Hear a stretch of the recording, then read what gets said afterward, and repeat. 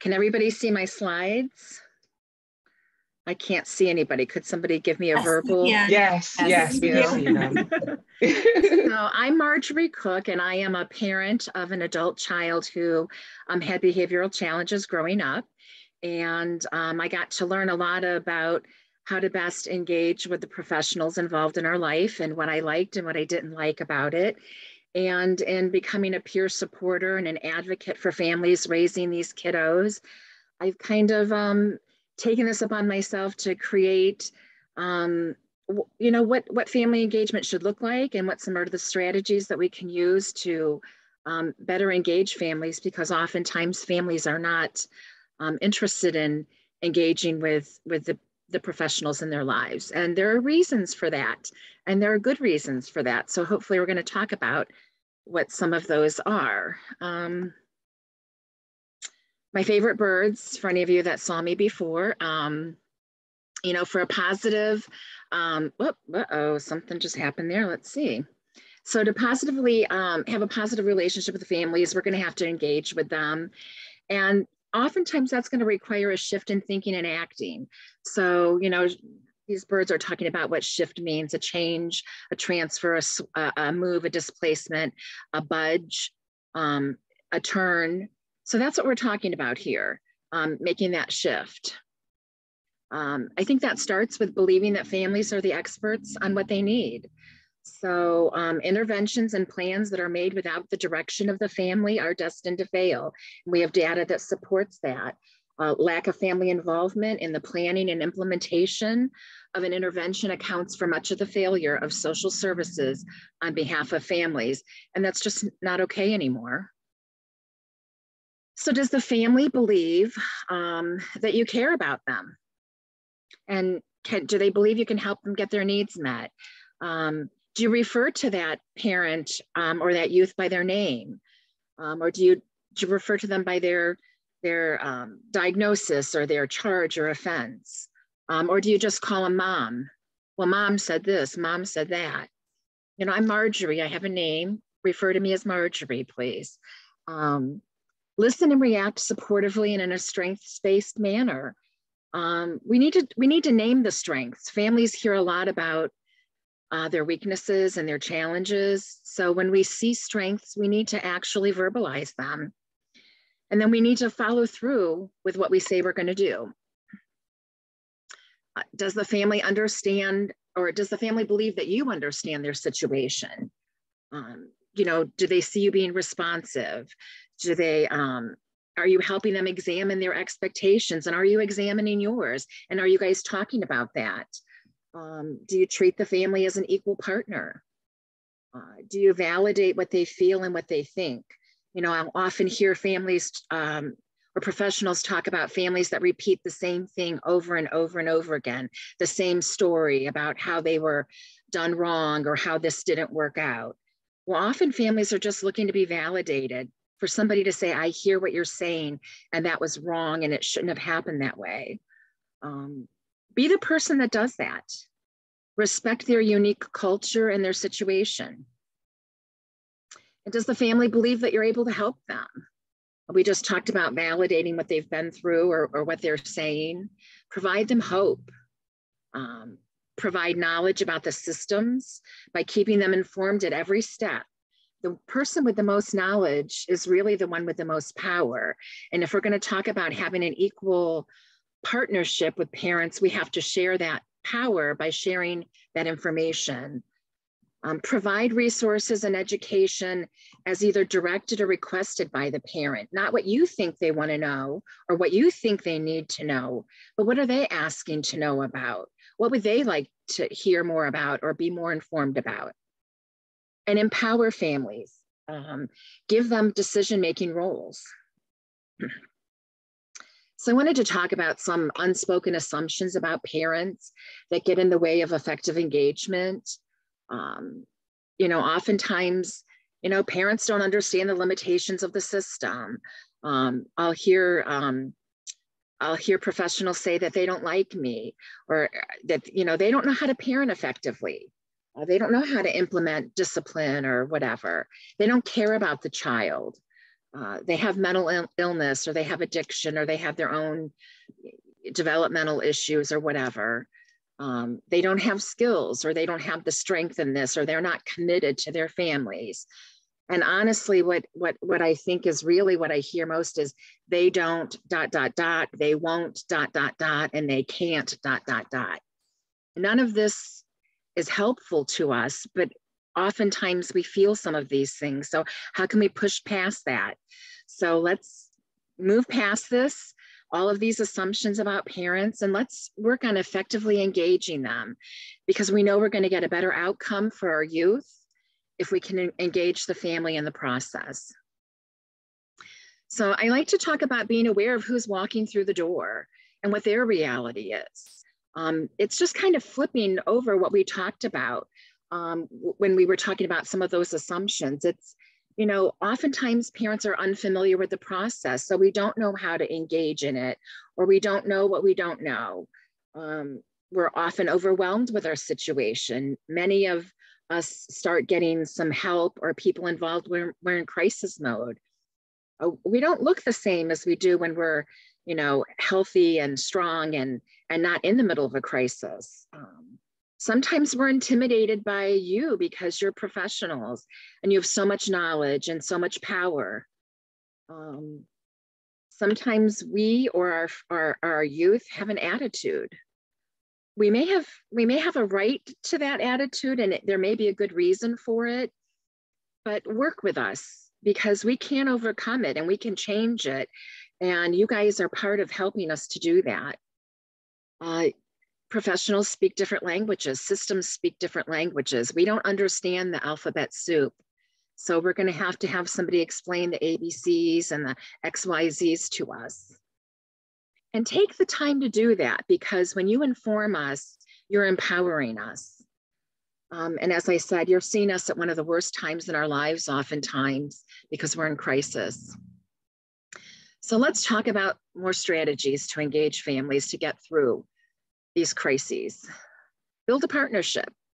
Um, to effectively assess and work with families, you'll need develop, to develop a positive working relationship. This is known as engagement it means you have to be accepting, non judgmental. You need to build a rapport, and then you should establish clear rules and boundaries. I say just talk about it. You know, there's going to be unspoken assumptions on both parts. So let's just have a, a, meeting where we talk about expectations, but not just about your expectations for me as the parent, but ask me as the parent, what are my expectations from you? You know, that collaboration um, requires a caring, non-blaming attitude toward one another to share information. I'm going to keep talking about that sharing information because that that power that isn't equal creates a big problem in our relationships with each other, parents and professionals.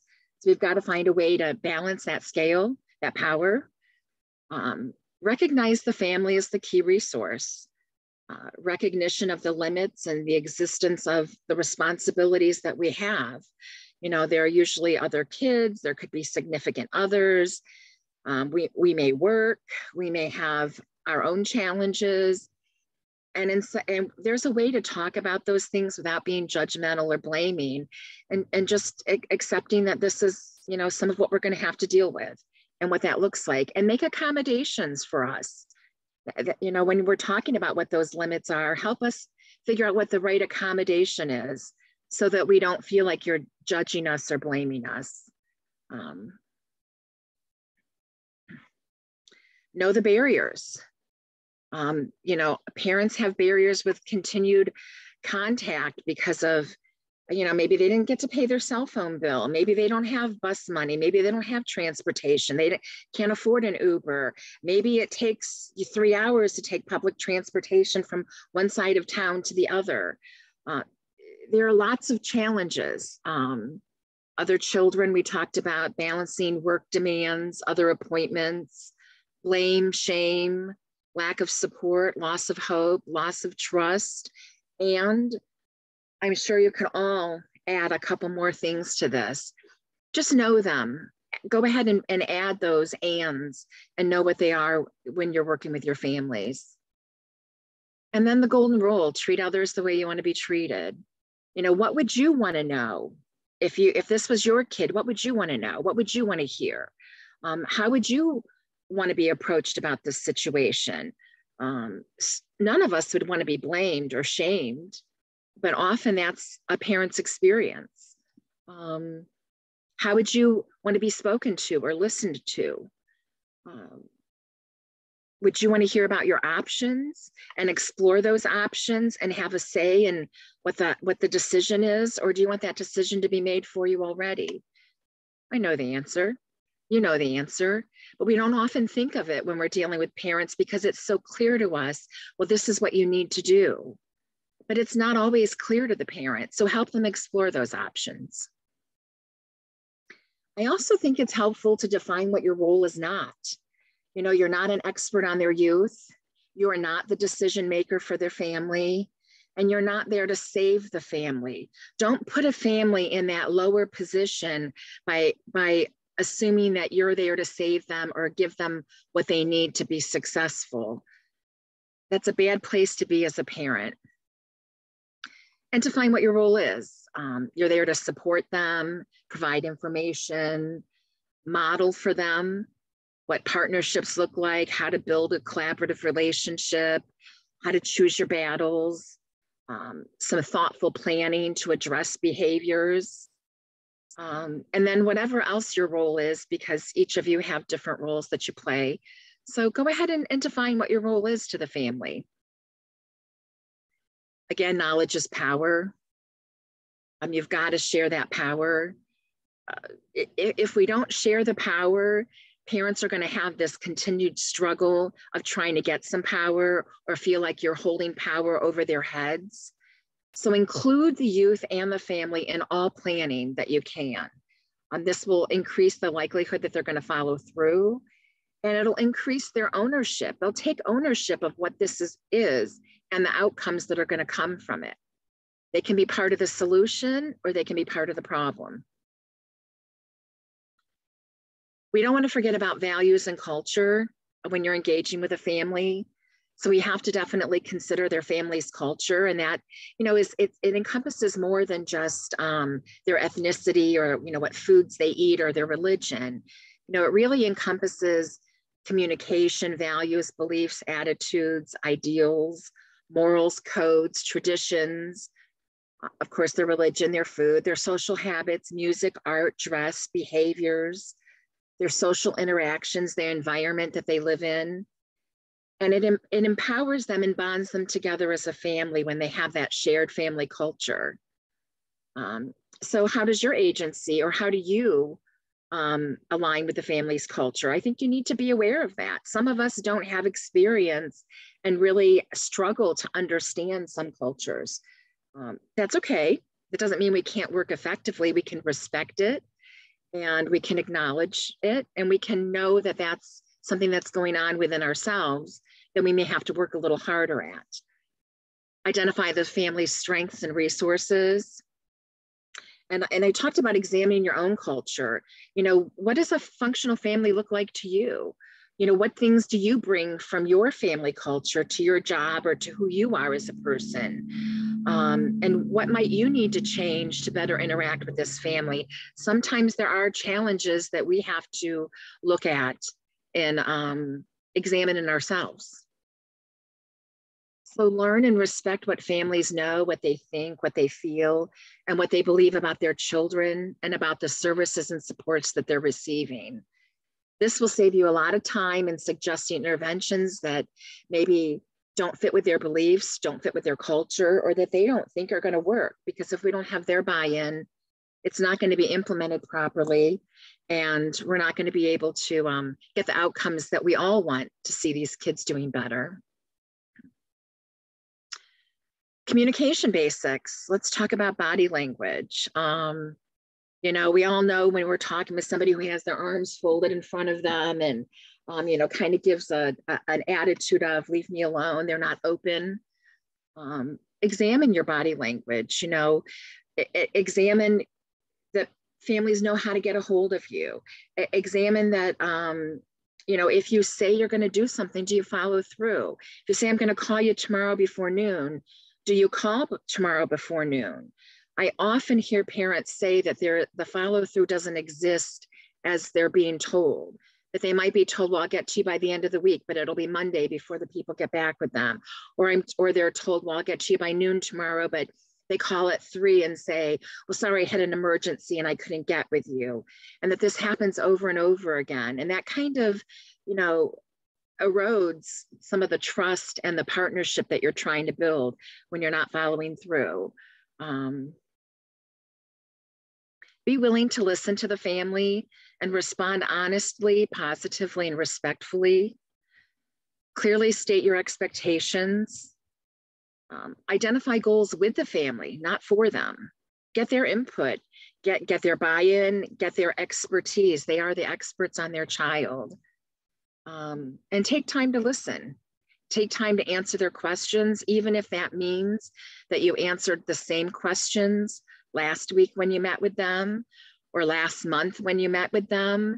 Sometimes we're so overwhelmed with everything coming at us that we only remember bits and pieces, or we remember what we think we remember, but maybe we're remembering pieces and parts that don't make sense to us. So we're asking again.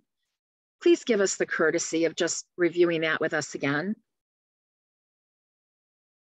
So commu some communication tips, uh, make eye contact, listen, value any information that the family provides you, see the family as an equal partner, use strengths-based language, consistently clarify your roles and expectations, not in a shaming or demeaning way, but in a way to get feedback. Am I doing what I'm hoping that I'm doing for you?